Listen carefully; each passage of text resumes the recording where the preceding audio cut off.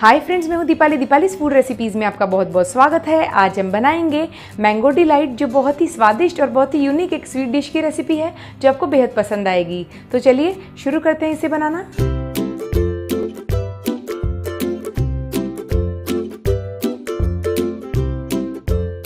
Mango delight बनाने के लिए हमने कढ़ाई में एक लीटर गाय का दूध ले लिया है। दूध को हम उबाल लेते हैं। पे आप देख सकते हैं कि दूध जो है वो उबल चुका है, फ्लेम को ऑफ़ कर लेंगे और कढ़ाई को हम नीचे उतार लेते हैं। तो यहाँ पर पाँच मिनट हो गए हैं, कढ़ाई को हमने नीचे उतार लिया है और यहाँ पर हमने दो चम्मच नींबू का रस ले लिया है। इसमें हम तीन चम्मच पानी डाल देंगे। थोड़ा थोड़ा नींबू का रस डालते हुए हम दूध में से पनीर को अलग कर लेते हैं।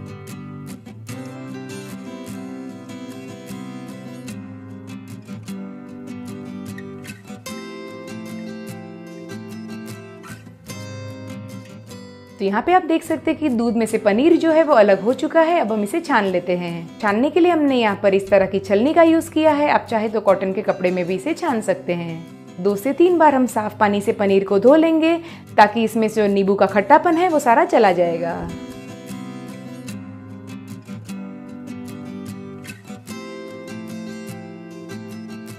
अब हम हल्के हाथों पनीर को प्रेस करते हुए इसमें से एक्स्ट्रा पानी जो है वो निकाल लेंगे और पनीर को हम ड्राई कर लेते हैं। इस रेसिपी में आपको गाय के दूध का ही यूज़ करना है तो आपको रिज़ल्ट अच्छा मिलेगा। तो देखिए, पनीर जो है वो अच्छे से ड्राई हो चुका है, अब हम इसे प्लेट में निकाल लेते हैं।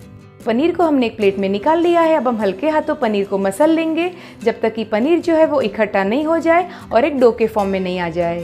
तो यहाँ पे आप देख सकते हैं कि पनीर जो है बिल्कुल चिपक भी नहीं रहा है और अच्छे डो के फॉर्म में आ चुका है। अब हम इसके छोटे छोटे रसगुल्ले तैयार कर लेंगे।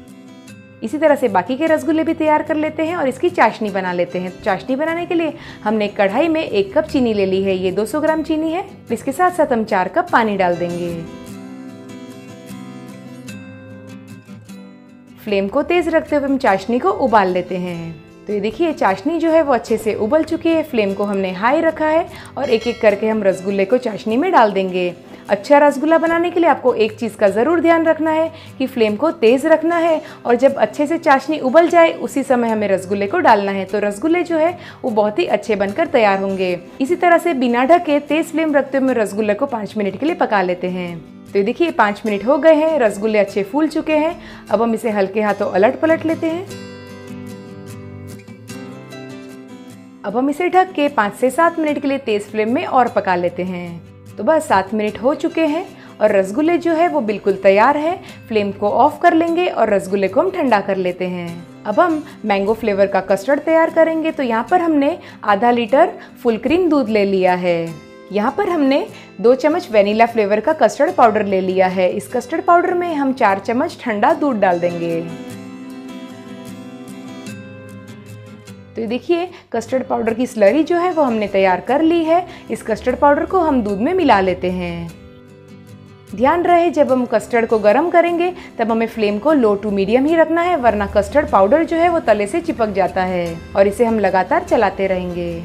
तो कस्टर्ड पाउडर जो है वो दूध में अच्छे से मिल चुका है और यहाँ पर हम चार चम्मच चीनी डाल देंगे। लगातार चलाते हुए हम दूध को गाढ़ा कर लेते हैं। तो देखिए, पाँच से सात मिनट में आप देख सकते हैं कि दूध जो है वो अच्छे से गाढ़ा हो चुका है। अब हम आधी चम्मच इलायची का पाउडर डाल देंगे। इस रेसिपी में आप इलायची का पाउडर का ज़रूर यूज़ करें, क्योंकि इलायची का पाउडर और मैंगो का जो कॉम्बिनेशन है, वो बहुत ही अच्छा फ्लेवर देगा इस रेसिपी में। मिला लेते हैं इसे और हम कस्टर्ड को ठंडा कर लेंगे। तो यहाँ पर कस्टर्ड जो है, वो ठंडा हो चुका है। और यहाँ पर हमने एक कप, यानी कि दो आम से हमने मैंगो प्यूरी तैयार कर ली है। इस प्यूरी को बनाने में हमने ना ही पानी का यूज़ किया है, ना ही चीनी का यूज़ किया है। आप अपने मनपसंद कोई भी आम से प्यूरी तैयार कर सकते हैं। इसे मिला लेते हैं अच्छे से। तो देखिए, मैंगो फ्लेवर का कस्टर्ड जो है वो बिल्कुल तैयार है। तो यहाँ पर रसगुल्ले जो है वो भी अच्छे से ठंडे हो चुके हैं।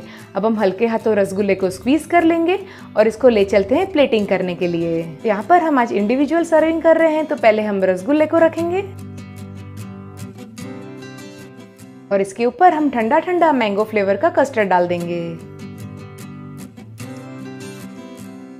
और इसको हम रसगुल्ला और पिस्ता की कतरन से गार्निश कर लेंगे।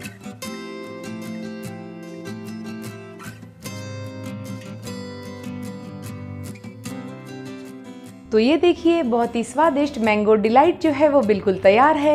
उम्मीद करूँगी कि आज का मेरा वीडियो आपको ज़रूर पसंद आया होगा तो लाइक का बटन ज़रूर दबाइए वीडियो को अपने फ्रेंड्स और फैमिली के साथ ज़रूर शेयर कीजिए। और यदि चैनल पर नए आए हैं तो चैनल को सब्सक्राइब ज़रूर कीजिए। मिलते हैं नेक्स्ट वीडियो में, इसी तरह की कोई नई रेसिपी के साथ। तब तक के लिए आपका बहुत बहुत धन्यवाद।